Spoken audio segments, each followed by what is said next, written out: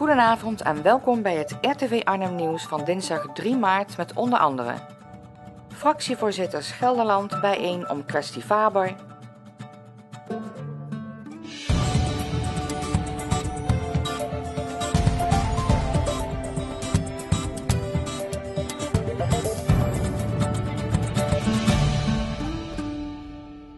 Op woensdag 11 maart komen de fractievoorzitters in provinciale staten van Gelderland bijeen over het handelen van PVV-leidster Marjolein Faber.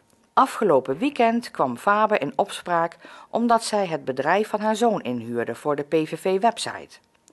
Door de provinciale regels is het niet toegestaan om familie in te schakelen voor betaalde klussen.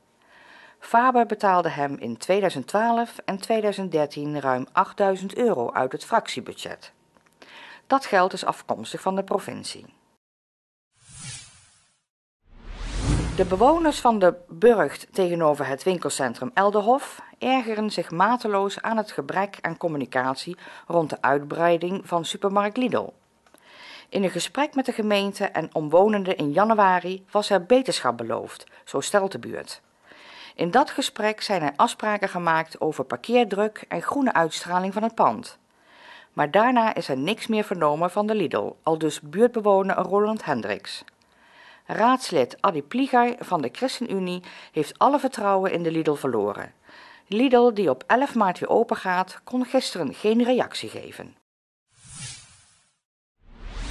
De besloten vergadering van afgelopen maandag over de bezuinigingen van 20 miljoen euro is niet doorgegaan. De lange bijeenkomst werd geschrapt nadat een deel van de gemeenteraad om openbaarheid had gevraagd.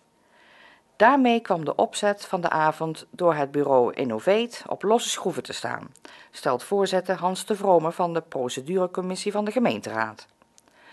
Dat bureau ziet beslotenheid als een succesfactor. Ik begrijp de aanpak, maar daar moet je niet mee doorgaan, want ik heb gemerkt dat de fracties in de gemeenteraad daarvoor zijn verdeeld. We gaan nadenken over een andere opzet, naar ik hoop met hetzelfde bureau, aldus Hans de Vrome. Als eerste ziekenhuis in Nederland heeft de Rijnstaten een aparte griepafdeling geopend. In de influenzavleugel worden patiënten die al in Rijnstaten worden verpleegd en daarnaast de griep oplopen, groepsgewijs geïsoleerd van de andere patiënten. Ook nieuwkomers met een dubbele diagnose, zoals mensen met een hartkwaal die ook nog eens de griep hebben, belanden op de influenzaafdeling. Met steriele schorten, mondkapjes en handschoenen wordt er voorkomen dat de verpleegkundigen ook besmet raken. Ondanks de bescherming vallen onder het personeel ook slachtoffers ten prooi aan het virus. De lente is een aantocht. En voor een impressie van de pasgeborene dieren bezochten wij Natuurcentrum Arnhem in Prezikaaf en spraken met Arnold Steenhuis. Wanneer zijn hier eh, de eerste lammetjes geboren, Arnold? Nou, net eh, de afgelopen dagen. Net uh, gisteren en eergisteren zijn de eerste lammetjes geboren op de stadsboerderij. En hoeveel zijn het er? Nou, we hebben er tot nu toe drie. Een tweeling en een eenling. Dus uh, we staan echt nog aan het begin van de lammertijd. Dus de aankomende vijf, zes weken verwachten we hier uh, nou, gemiddeld bij de aanwezige ooien toch wel twee lammetjes, zeg maar. Ja, want het is gebruikelijk dat ze een tweeling krijgen. Gemiddeld krijgen ze een tweeling. Zeg maar ja, eenlingen komt ook voor, drielingen komt ook voor, heel soms een vierling, maar gemiddeld heb je wel een tweeling zo'n beetje. Ja. Nu hebben jullie uh, alle schapen, alle moedertjes uh, bij elkaar gezet, die dus ook drachtig zijn op dit moment. Uh, maar er is er ook eentje bij, die heeft een speciaal verhaal.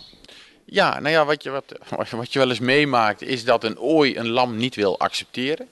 Uh, dan wordt een lammetje geboren en om redenen die niemand weet, ja, wilde ooit dan niks van het lammetje weten. Wat ook wel eens gebeurd is, dat je een dood lam hebt, dat er een lammetje wordt geboren, ja, die is dood, is, of was al dood, of heeft toch een te zware bevalling gehad. Nou, deze twee dingen die kregen we toevallig eh, bij elkaar. Eén eh, lammetje werd doodgeboren en een ander lammetje werd niet geaccepteerd door de moeder. En toen hebben we het lammetje wat niet geaccepteerd is, hebben we bij de moeder gezet van het dode lam. En eh, nou ja, die was er helemaal wild van. Dus nou, zo hebben we dat toch weer met elkaar kunnen oplossen, zeg maar. Ja. Jullie verwachten dus heel wat lammetjes de komende weken. Maar dan heb je natuurlijk ontzettend veel schapen erbij gekregen. Wat gebeurt daarmee?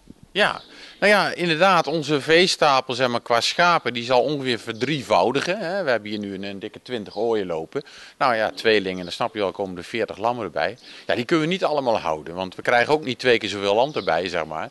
Dus uh, ja, alle schapen die worden geboren, de lammeren. Een deel daarvan houden we om onze veestapel mee te verjongen. Hè. Oude schapen, op een gegeven moment krijgen ze niet meer dragend of ze worden te oud om ze nog te laten dragen. Nou, daar nemen we dan ook afscheid van. Jonge ooien die we dan opfokken, schuiven daarin door. En zo houden we onze veestapel eigenlijk stabiel. De andere dieren, uh, die zijn, uh, houden we gewoon inderdaad voor vleesproductie. Net als iedere andere schapenboer in Nederland doen we dat hier ook op de stadsboerderij.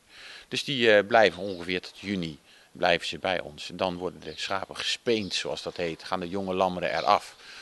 Ja, naast de lammetjes zijn natuurlijk ook de biggetjes.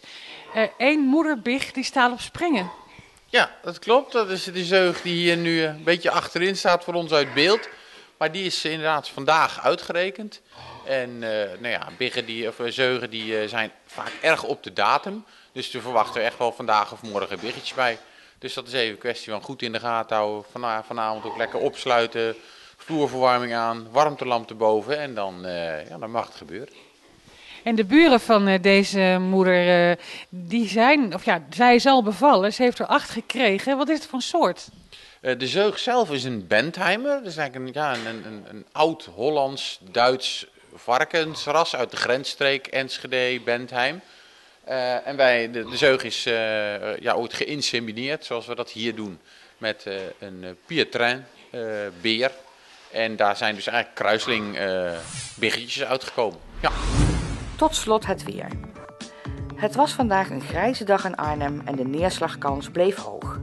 Vanmiddag steeg de temperatuur tot 7 graden en was de wind vrij krachtig.